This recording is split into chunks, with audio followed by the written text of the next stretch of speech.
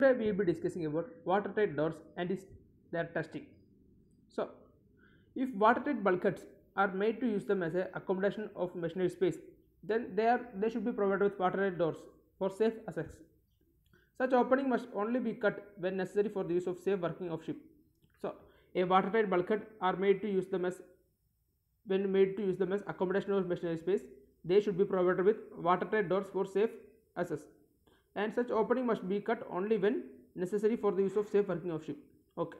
Watertight bulkhead, if, if it is made to use for a, a accommodation of machinery space, then water door should be provided for the safe access and it, this door must be cut only when necessary for the use of safe working of ship.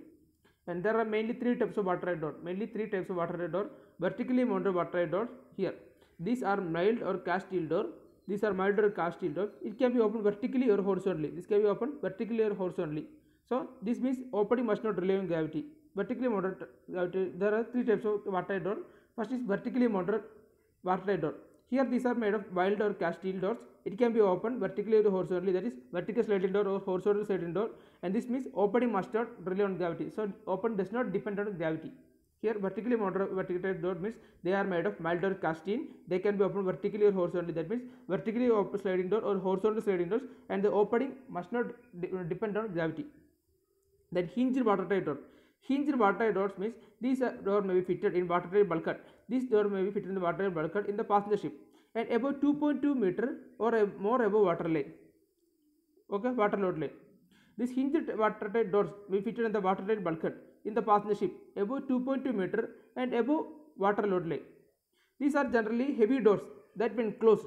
And sealed on packing material that is welded to the door frame with the help of metal strip so these hinged watertight doors are kind of heavy doors that when they close seal on the packing material that is welded to the door frame with help of a metal strip. Okay hinged watertight doors means hinged watertight doors are fitted in the watertight bulkhead in a passenger ship above 2.2 meter or above water load line.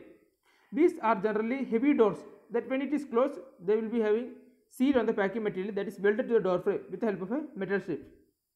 And automatic operator watertight door this automatic operator watertight door means this system is used in the case of fire or flooding. When there is a fire or flooding this automatic operating water will operate.